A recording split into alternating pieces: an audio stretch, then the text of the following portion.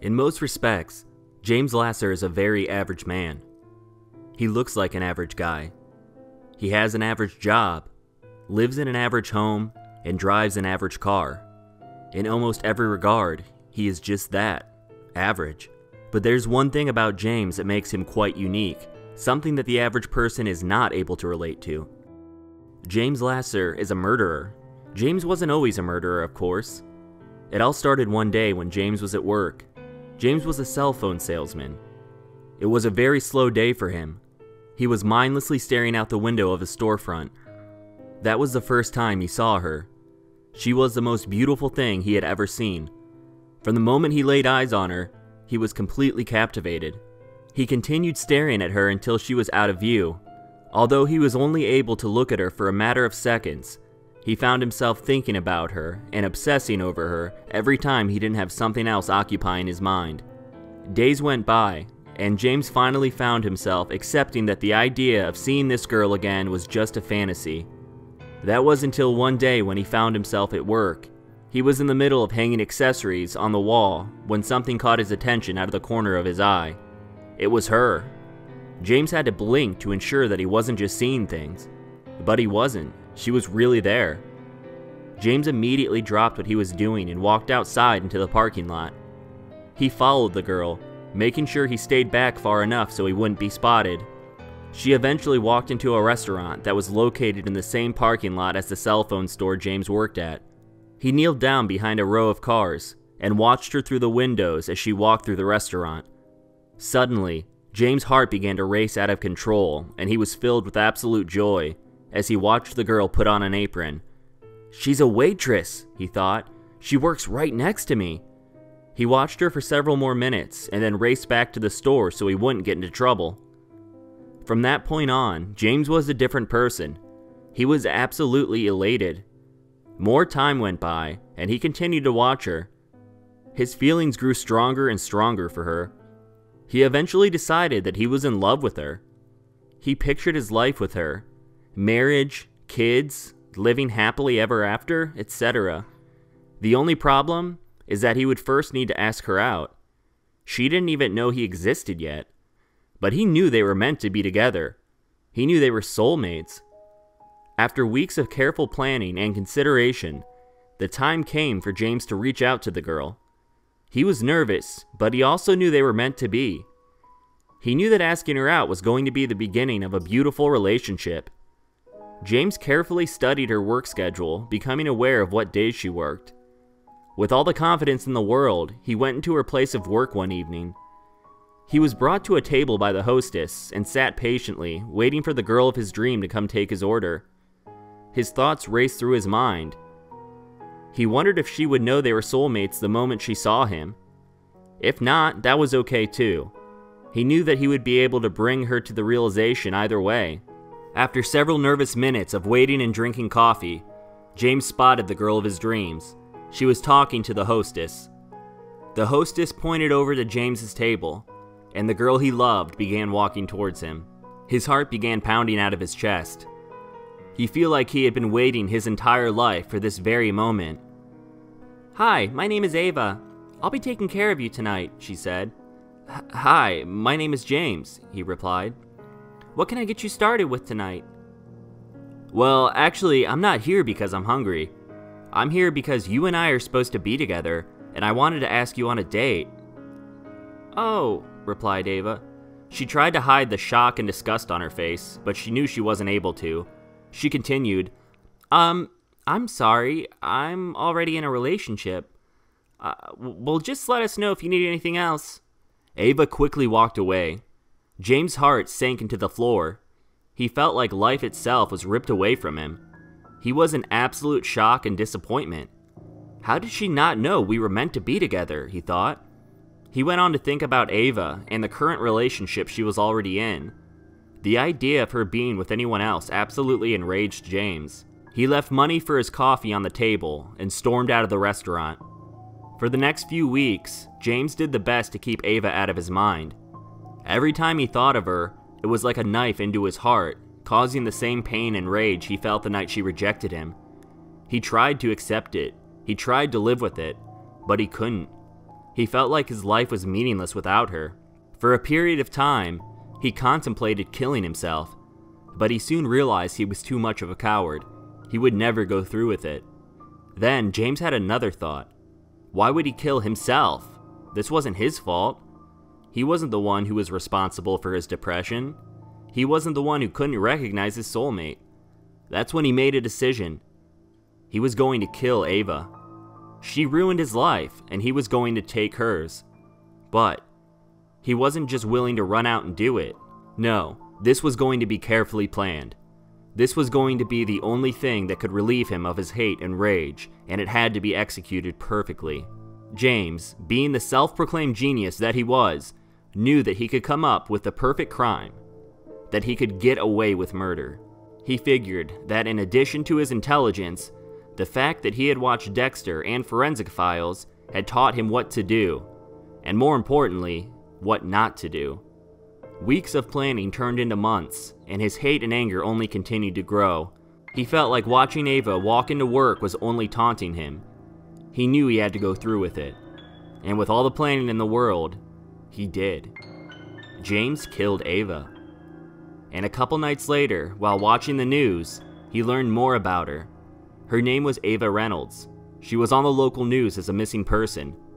When even more time passed, eventually her parents were on TV, begging for information leading to the return of their daughter.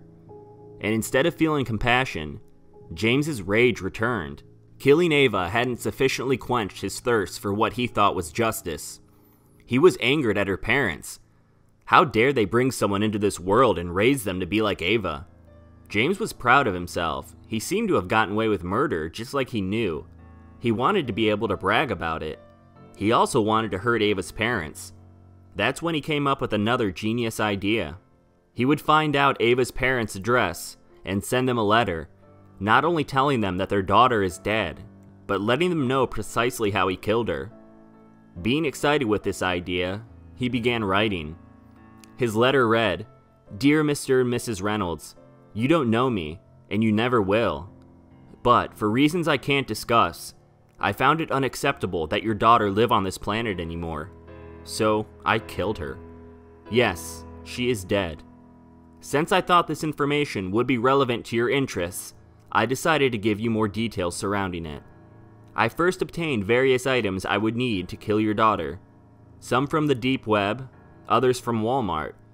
I was actually able to find a chemical online that was similar to chloroform, except even stronger and faster acting. Neat, huh? I waited for your daughter to walk to her car around midnight on a Saturday night after work like normal. I hid behind her car, where she wouldn't be able to see me. I was able to render her unconscious in a matter of seconds, with a rag soaked in that fantastic deep web liquid. Upon studying, I learned that this wouldn't keep her asleep for as long as I would need her to be. So after I carried her to my car and put her into the tarp in my trunk, I injected her with a high dose of a benzodiazepine. Again, all compliments to the deep web. I drove her hours and hours away to a destination of my choosing. Obviously, I couldn't just bring her home.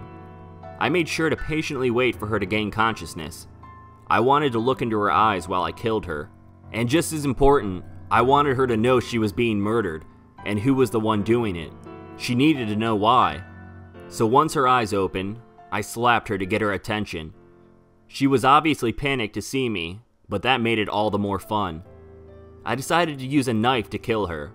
I've always been a fan of the classics. I began to press the blade against her neck.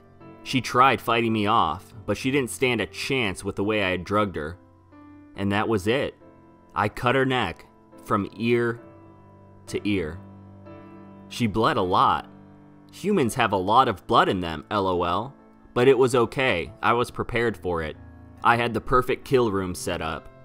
I also made sure none of her DNA would get on me, and even more important, none of mine would get on her.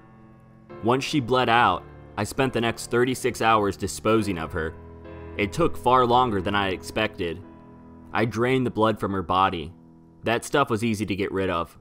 I then spent hours cutting her up. I wanted her into pieces that were small enough to flush. This process was even more difficult than I originally thought. It took a lot of tools, but I got it done.